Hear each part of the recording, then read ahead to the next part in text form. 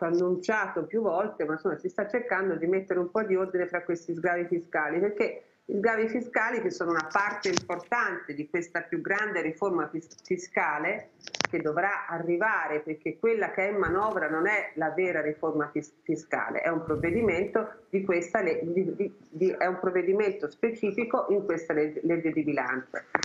E in più c'è questo decreto fiscale che è in votazione al Senato e che deve, eh, scusate, alla Camera e poi deve andare al Senato. Quindi le partite economiche sono tante su tanti fronti.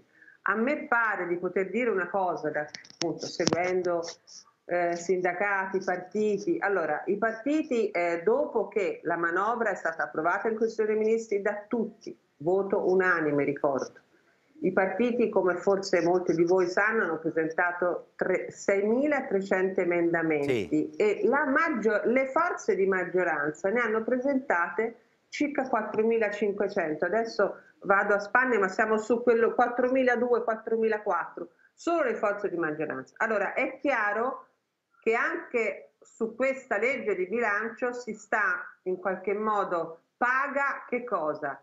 Il fatto che questa legislatura, che questo esecutivo e soprattutto il Parlamento non sanno eh, se questa sarà l'ultima legge di bilancio di, di Draghi, la, che, che, è stata la prima di Draghi sarà l'ultima sì. di Draghi, oppure se ci sarà una... Quindi se la ah. legislatura arriverà al 2023 eh. sì o no. Allora aspetta, aspetta. Altrimenti... Eh 6.300 emendamenti che sono normali in anni normali, ma questo non è un anno normale, no, certo. non si possono spiegare. E eh. ugualmente i sindacati fanno delle richieste che sono legittime, ma tu hai 8 miliardi, ti hanno dato di questi 8 miliardi 7 per il taglio IRPEF, insomma a me non sembra cose da poco. Ecco. Aspetta, Poi, sì, sì, sì, no.